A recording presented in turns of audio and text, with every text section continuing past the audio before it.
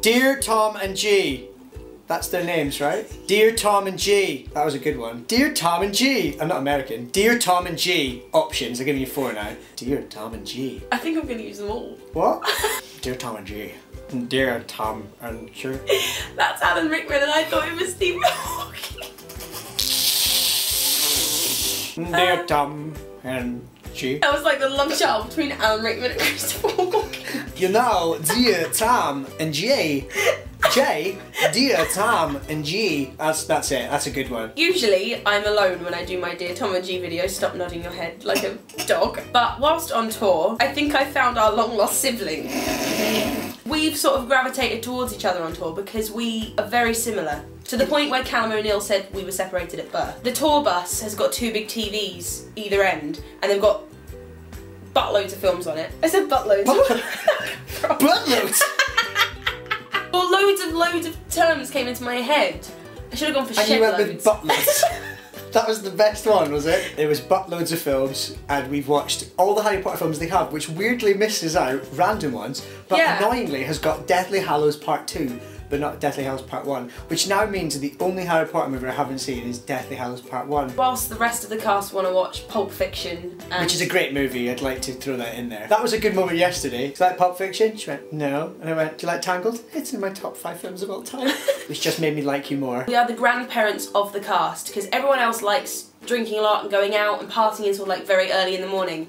And we didn't do that until Newcastle. But it was one of these things where we're like, are you going out? I don't know, are you going out? I'm gonna leave when you leave. yeah. The interesting thing about being the grandparents of, of the tour, which we are, is that we are you are the youngest female. In fact, you're the youngest member of the company, mm-hmm. and I am the next youngest, even though I am older than you by an unspecified number of years. Just What? four years, he's 26. Reading. We haven't Reading. mentioned reading. I bought a book that he recommended me and he bought a book that I recommended him, which was Andrew Kaufman, The Tiny Wife, and I recommend it to you. uh, The Sense of an Ending by Julia Barnes. Julian Barnes. How many books have you got now on tour? Uh, I've got eight on tour with me now. I have seven books, one of which you actually bought me. Uh, It's my favourite book of all time, and it's a bit of a weakness of mine, is when someone goes, Oh, I've never read Animal Farm, and I'm like, So, yes, I, I bought you a copy, so now you have to read it and ingest it and love it. I will. What else have you bonded over?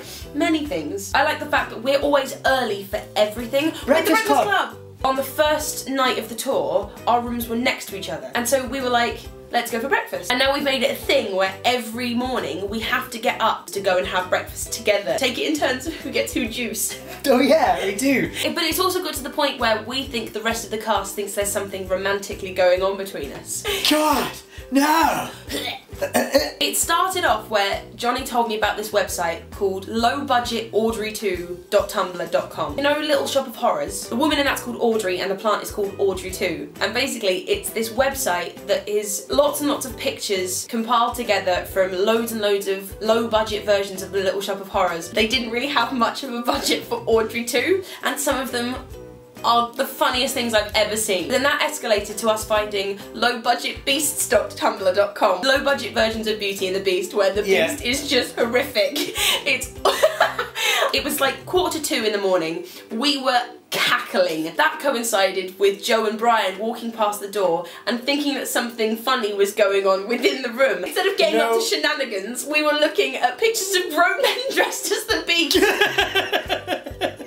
Please don't let this be just for the tour. Th- this bromance. Since when was I a dude? Can you make brother and sister work as a word? Brusmans? Sis- Sibmance. We're a sibmance. A sibling romance. That That sounds weird. Not that. We're a France. We're a friend romance. We're a France. We're from. We are France.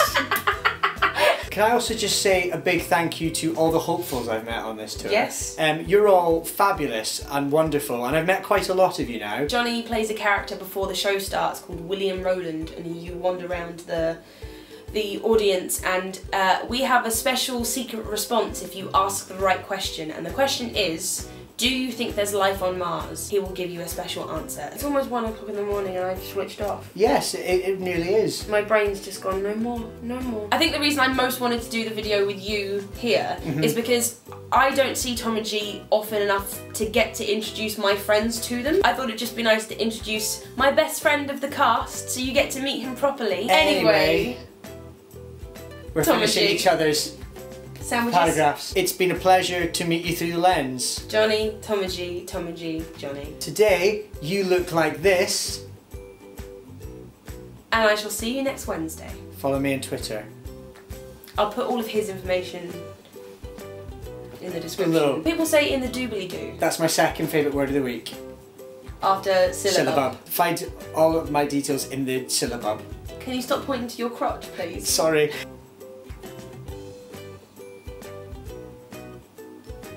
When do we start waving? We don't. This Okay. just goes on forever now. I reckon that's pretty accurate.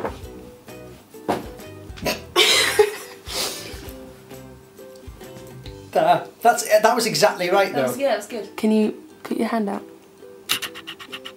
Thank you. Yeah, I've got it down. Ah,